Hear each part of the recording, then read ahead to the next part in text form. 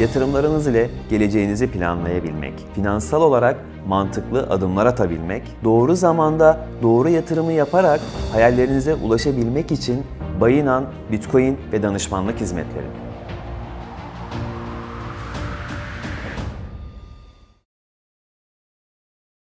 Arkadaşlar merhaba. Bugünkü yayınımızda doğru borsa seçimi, kripto parada bir borsayı seçerken, o borsaya paramızı yatırırken önemli olan 6 tane kriteri ben hazırladım ve bugün sizlere anlatacağım. Öncelikle kripto parada borsa çok önemlidir. Bizim para kazanıp para kazanmamız, e, para kazanmamız ve kazanmamamızı belirleyen en önemli unsurlardan da bir tanesi borsadır. Hani hep şey diyorum ya, bu işin %70'i, affedersiniz sevgili dostlarım, bu işin %70'i duygu yönetimi, şimdi %30'luk kısımdayız. En başından başlayalım. Kripto para almak istiyorsunuz. Bitcoin, Ethereum, Ripple. Hangi borsayı alacağınızı bilmiyorsunuz. Ya da kullandığınız bir borsa gerçekten doğru bir hizmette mi, değil mi? Bunu ölçmenin bazı kriterleri var. Birincisi, dolar ile yani USDT, Tether dediğimiz dolara endeksli coin'dir Tether.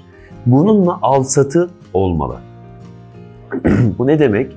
E, şimdi kimi borsayı açtığımızda sadece Türk lirasıyla alım satım vardır. Bu yatırımcılar için yani bizler için kötü bir durum. Neden?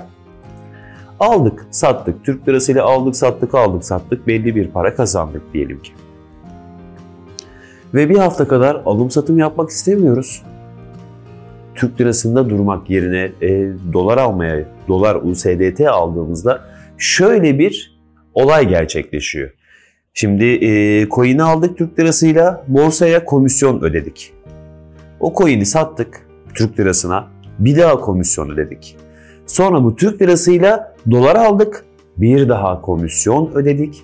Bir hafta 10 gün dolarda kalmak istedik yani USDT Theater'da kalmak istedik. Bir hafta sonra sattığımızda bir kez daha komisyon ödedik. Yani iki sefer komisyonu ödemek. Hani şunu görüyorum, işte komisyon en ucuz komisyon, komisyon indirimi diye hep sayfalarda görürsünüz. Borsanın sayfalarında. Bu komisyon indiriminin arkasında yatan gerçek ise budur arkadaşlar. O borsaya girdiğinizde, baktığınızda USDT ile alım satım yoktur ya da bir iki tane coin'dir. E bu sefer ne olur? E ben belki iki hafta, üç hafta veya bir ay kalmak istemiyorum. Ama bankaya da çekmek istemiyorum paramı. Hani ani bir düşüş geldi, bir fırsat geldi. Bunu hızlıca değerlendirebilmem için kenarda yedek bir akçem olması lazım. İşte o yedek akçeyi ben Türk lirada tutmak istemiyorum. Bu sefer durmadan borsaya komisyon, komisyon, komisyon. Sonra bakıyorsunuz e, bir ayda 5 bin kazanmışım, 2 bin de komisyon ödemişim. Yani borsa benim parama ortak olmuş oluyor. Bu yüzden kripto parada al sat yapıyorsanız bulunduğunuz borsada USDT ile alım satım olacak. Eğer ki bir borsada USDT yani Tether'la alım satım yoksa bilin ki yüksek komisyon ödüyorsunuz ve o borsanın hizmet kalitesi diğer borsalara göre bir tık daha düşük demektir. Bu birinci kuralımız. Bu kuralları bu arada ben belirledim. Yıllardır e, her bol çoğu borsayı denedim. Çoğu borsada al sat yaptım. Ve hepsinde de küçük küçük de olsa e, hatalardan dolayı, borsa hatalarından dolayı daha fazla komisyon, daha az gelir şeklinde belli para kayıplarım oldu. Bu yüzden birincisi dolar ile alım satım. Bu en önemli kriterlerimizden bir tanesi. Diğeri ise arkadaşlar transfer. Yine bunu en başından anlatacağım. Bir borsaya girdiniz. Yatırım yapmak istiyorsunuz. Borsayı incelemeniz gerekiyor. İlk başta 20 bin 30 bin değil. Bir 200 lira, 300 lira küçük bir rakam borsaya yatırın. Böyle bir 3 gün sonra, 5 gün sonra oradaki 500 liranızı, 500 lira değerindeki bir coin'i ya da Tether'ı yani USDT'yi başka borsaya transfer etmeye çalışın. Bir borsanın kaliteli olup olmadığını da buradan da anlarız ayrıca. Çünkü transferde şöyle sorunlar ortaya çıkar. Bir borsanın altyapısı sağlam değil ise ya da arkada hani Toilex gibi farklı farklı olaylar dönmeye müsait ise siz transfere bastığınızda yani transfer emrini verdiğinizde bir geç gönderir. Nasıl bir geçtikten bahsediyorum? 24 saat, 48 saat, 72 saat gibi rakamlardan bahsediyorum. Eğer böyle bir geç gönderme, geç transfer varsa arka tarafta çok farklı senaryolar dönüyor demektir. Ya da siz transfere bastınız. Transferi girdiniz, A adresiniz doğru. ERC20, TRC20 bunları da çektiniz yani işaretlediniz doğru. Danışmanınızdan onay bekleniyor veya şuradan şu bekleniyor, buradan bu. Bir şekilde üçüncü, ikinci bir şahısa yani siz ve sistem dışında bir şahısa, şahısın onayına ihtiyaç duyuyorsa o transfer o borsadan da uzak durun. Çünkü mantığı şu sevgili dostlarım. Kripto para, Bitcoin'in mantığı ne? Merkeziyetsiz. Yani bu ne demek? Ben istediğim saatte, istediğim adrese paramı gönderebilirim, Bitcoin'imi gönderebilirim ve bunun için başka birinden onay alma, danışmanımın onaylamasına ihtiyacım yoktur. Bitcoin'in mantığı bu. Bitcoin bu yüzden çıktı zaten. Yoksa bankadaki nakitten bir e, farkı kalmaz ki. Bankada para transferi yaptığınızda arka planda e, haliyle bankanın görevlisi, banka çalışanı ne yapıyor? O transferi onaylıyor. Ha, orası banka. Ama biz kripto parada özgürüz. Hiçbir merkeze bağlı değiliz. Hem paramı 72 saatte gönderecek Bitcoin'imi veya 48 saatte. Bakın bunlar yaşandı. Belki kiminiz bunu yaşadı, belki yaşamadı kiminiz. Hani yaşamayanlar şey diyebilir ya gerçekten oluyor mu? Evet oluyor sevgili dostlarım. Hatta ben bunu geçmişte bir müşterimle yaşadım. Ripple'larını tam 72 saatte yaşadı. Şey 72 saatte taşıyabildik. Danışmanınız onay verdi, onay veriyor, onay verecek. Bunun da kılıfını şöyle uydururlar. Doğru adrese e, ve doğru ağı seçtiğiniz, yani yanlış adrese göndermeyin, paranız kaybolmasın. Ya bu benim sorunum. Burada danışmanın onaylaması demek şu demek. İşte siz veya yaşadığımız olayı anlatayım.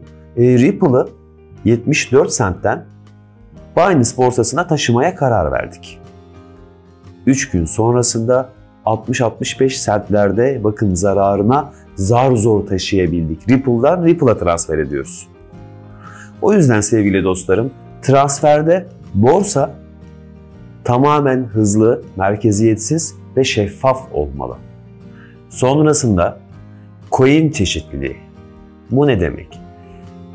Bir borsayı açtınız. Tamam, dolar ile alım satımı var. Transferde de sorun yok. Ama elinde 5 tane 7 tane coin var ya da 10 tane coin var. Şimdi piyasa yükselirken Bitcoin yükselince zaten birçok coin'i az ya da çok taşıyor. Düşerken de geri çekiyor. E siz bir coin aldınız, sattınız. A coin'ini diyelim. Aldınız ve sattınız. %20 karınız var. Artık C coin'ini alayım. Ama C coin'i de 10 tane coin olduğu için o da yüksekte. B'si de yüksekte, Z coin'i de yüksekte. Yani oradaki 10 coin zaten en yüksekte. E birinden alıp satıp en yükseğe çıktı. En yüksekten sattınız ama diğerinde farkında olmadan en yüksekten alıyorsunuz. Buradaki mantık ise şu. Alın satın, kar edin, komisyon ödeyin haliyle alırken bir komisyon, satarken bir komisyon. Sonra tekrar alın, zarar edin, komisyon ödeyin. Sonra bir daha alın, bir daha satın, komisyon ödeyin. Yani durmadan komisyon ödeyin. İşte bu yüzden coin çeşitliliği az olan borsalarda zarar etme riskiniz daha fazladır. Bir de şöyle düşünün, 300 tane coin var. Salladım rakamı. A coin'ini aldınız, sattınız. Belli bir karınız var. 300 tane coin'in içinden fiyatlanmamış, hacimlenmemiş, grafikte böyle dip noktaya yaklaşmış, insanların daha duymadığı coinleri bulmak ve almak daha e, şanslı olur ve daha fazla imkanınız olur. Ama 10 tane coin var. Ethereum, Ripple, Bitcoin, XTZ, XRP. E bunlar yükseldi mi major coinler hepsi bir anda yükselir. E siz birinden aldınız sattınız yani birini dipten alıp yüksekten çıktınız ama diğerine yüksekten giriyorsunuz. Dipten çıkacaksınız haliyle. İşte bu yüzden borsa seçimindeki birinci e, detayımız dolar ile alım satım yani USDT, ikincisi transfer, üçüncüsü üçüncüsü coin çeşitliliği. Bunlara dikkat etmezseniz daha 4-5-6'mız var. Bunlara dikkat etmezseniz işte zarar etme riskiniz giderek çoğalıyor. Borsaya ilk girdiğinizde zarar etme riskiniz %10 sa artık dolaylı alım satım yok. %20'ye çıktı riskiniz. Transfer o şekilde riskiniz çok fazla. Bir de üzerine coin çeşitliliği yok. Orada para kazanacağım diye uğraşırsınız. Sonrasında sevgili dostlarım, dördüncü kuralımız ise yani dördüncü dikkat etmemiz gereken canlı destek ya da iletişim mail adresleri çalışıyor mu? Burası da e, sizi hani bir nebze olsun işte Toadex gibi veya böyle sıkan borsa dediğimiz, sahte borsa dediğimiz borsalardan korur. Bu detaya dikkat edin. İletişim adresine bir mail atın, bir şey sorun. Size dönüşlerine bakın. Şimdi borsalarda soru yaşayabilirsiniz. Binance'da yaşanır, OKEX'e de yaşanır. Ama siz mail attığınızda dönüş var mı?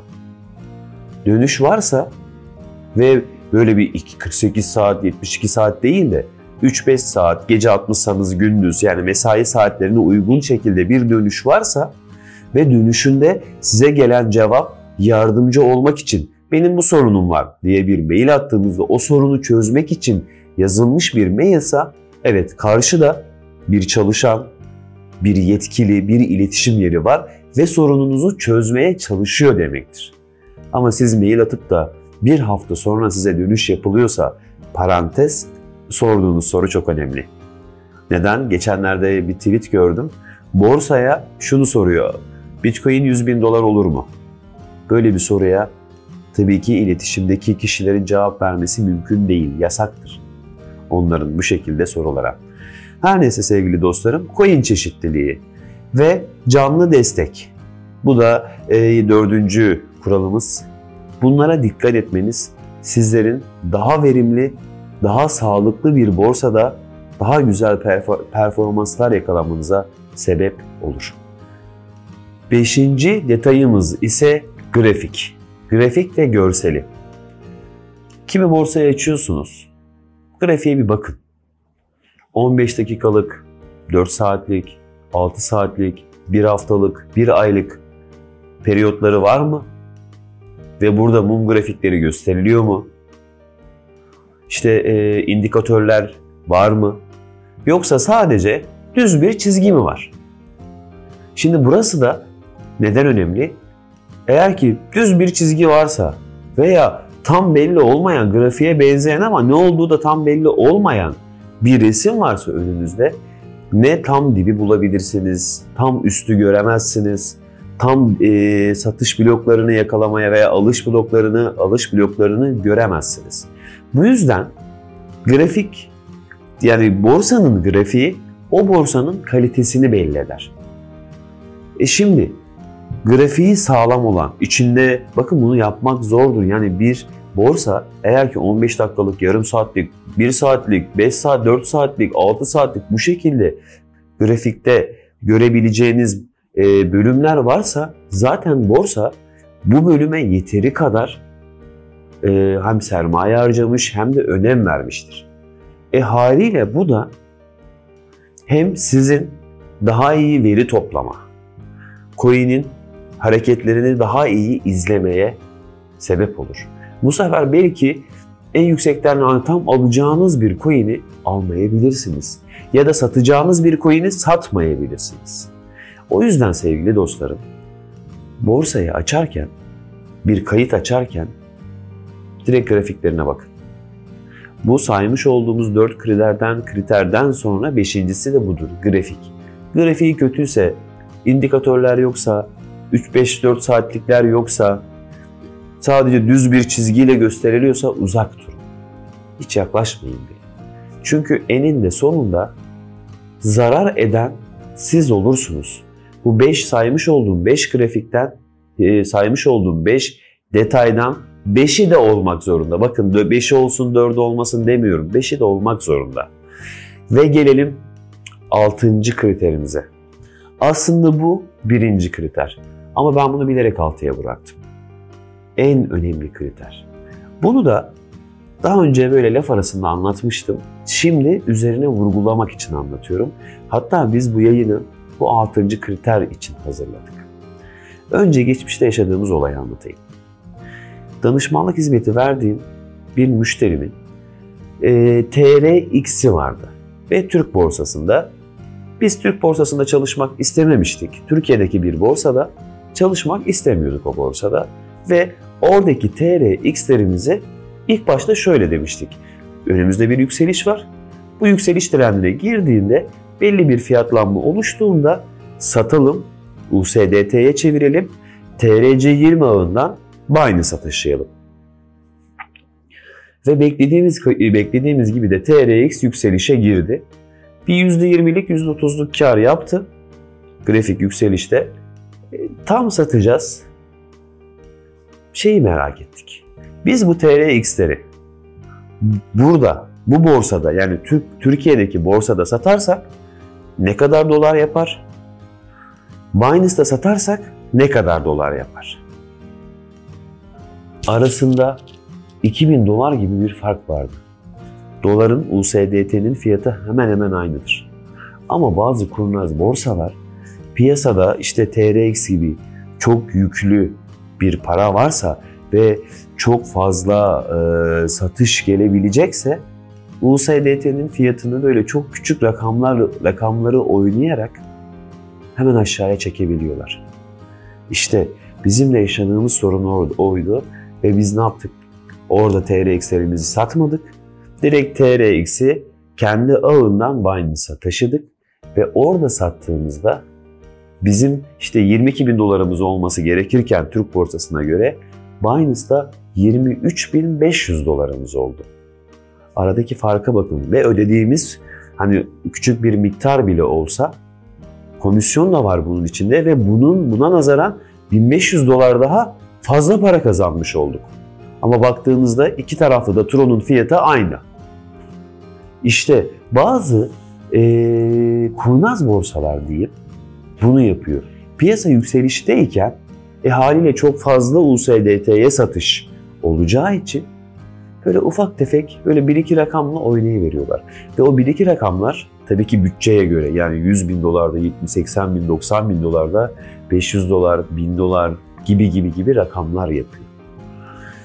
İşte e, altıncı kriterimiz ama gerçekte en önemli kriterimiz. USDT rakamı aynı mı? Şimdi bakın e, Bitcoin de böyle ki bir satoshi, iki satoshi fark olabilir. Bunun nedeni e, Binance'da 1 milyon kullanıcı var. Türkiye'deki A borsasında 100 bin kullanıcı var. Farzı misal. E, bir tarafta bu kalemi 1 milyon kişi alıp satarken diğer tarafta 100 bin kişi alıp satıyor. E, haliyle bunda anlık fiyat dalgalanmaları ve fiyat farkları olabilir. Zaten bunun da adına arbitraj denir. Tabi bu arbitraj yıllar öncesinden yapmak daha kolaydı. Artık şimdi çok zor hale geldi. Yalnız USDT gibi dolara endeksli sabit bir coin'i fiyatı çoğu borsada aynıdır. Takip edin sevgili dostlarım. Binance'da veya A borsasında, B borsasında 8.54 e, iken o borsada piyasa yükselirken bir anda 8.50'ye 8.49'a düşüyorsa dolar düşmez iken ve diğer borsalarda fiyatlar aynı iken o borsada düşüyorsa bu çok farklı bir olay demektir. İşte bizim e, müşterimizde yaşadığımız sorun gibi. Cebinizden gizli bir el, hayalet bir el bir anda 1500 dolarınızı çekiverir. Bu, bu demektir. Bu yüzden ee, lütfen hani biraz daha artık bilgili olalım. Çünkü Türkiye'de biliyorsunuz bizim Türk insanımız hazır parayı çok sever. Bugün alıp sabahına zengin olmak ister, akşamına da denizlerde, tatillerde kokteyl yudumlamak ister. Ama maalesef ki bizim ülkemizde de hep Ee, işte bu tarz böyle gizli eller, hayalet eller hep çok olmuştur. Nedeni ise bizlerin bilgisizliğinden. Toyalox kaçtı diyorlar. Örnek veriyorum. Veya A borsası gitti, B borsası patladı. Bir insan amacına riayet ediyorsa onu çok da suçlamamak lazım. Çünkü amacı belli. Borsayı kurarken ki amacı belli ve amacına riayet etmiş bu. Yani amacı hırsızlıkmış, hırsızlığa riayet etmiş. E peki siz bunları araştırdınız mı hiç? Hiç o borsayı araştırdınız mı? Hiç baktınız mı? Yok. Bizim Türk insanı. Hemen dediğim gibi akşamın alayım, sabahına doğru denizde, adalarda, tatilde kokteyl yudumlayayım. Ama işte bunlar var. Hatta e, çok sevdiğim bir cümle vardır benim. Bilgiye yatıran, yapıl, e, bilgiye yapılan yatırım en değerli yatırımdır diye ve en değerli kazançtır diye. O yüzden sevgili dostlarım, bir coin'e yatırmadan önce bilgiye yatırın paranızı. E, piyasamız dediğim gibi arkadaşlar Ağustos, Temmuz'da bahsettik. Artık gerçi ben dedim kelimesini kullanmıyorum. Çünkü herkes bir anda ben dedimci oldu. Ama Ağustos ayı piyasamız hareketli geçecekti ve geçmeye de başladı. Ağustos sonuna kadar e, böyle küçük küçük ara ara düşüşler gelebilir. Bu düşüşlerde her zaman elinize nakit bulundurun. Normal borsada bir e, kelime vardır. Direkt Türkçesini söyleyeyim hatta. Nakit kraldır.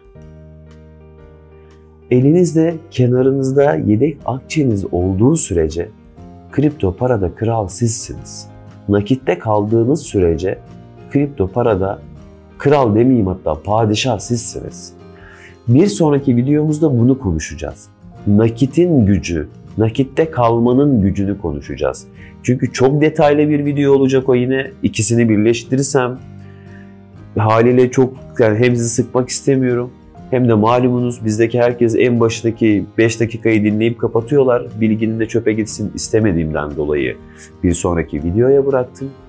Bir sonraki videoda Nakit Kraldır videosunda görüşmek üzere. İyi akşamlarda kalın, iyi günlerde kalın, her şeyden önce sağlıcakla kalın.